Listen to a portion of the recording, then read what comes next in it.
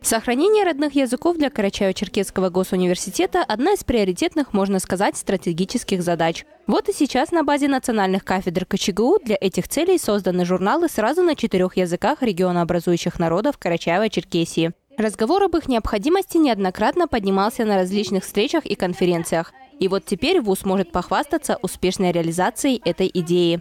Уникальность журнала в том, что абсолютно полностью это, это журнал на родных языках. Э, ну, там печатаются произведения не только наших национальных э, писателей, поэтов, но мы предполагаем там печатать, и в первых журналах это уже мы презентовали, переводы э, на родные языки, как русских писателей, классиков, так и зарубежных писателей.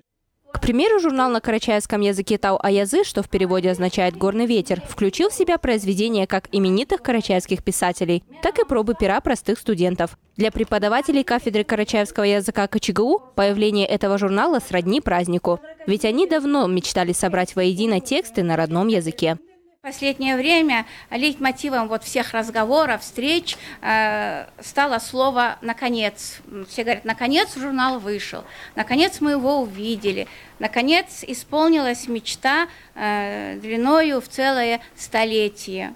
А это уже журнал на абазинском языке «Абазашта Адзекхуа».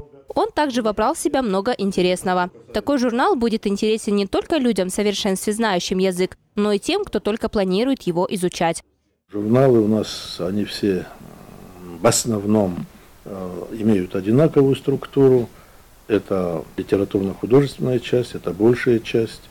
Сюда включаются э, в первую очередь э, фольклор, фольклорные произведения народов Карачаева-Черкесии, но только те фольклорные произведения, которые до сих пор не были нигде опубликованы.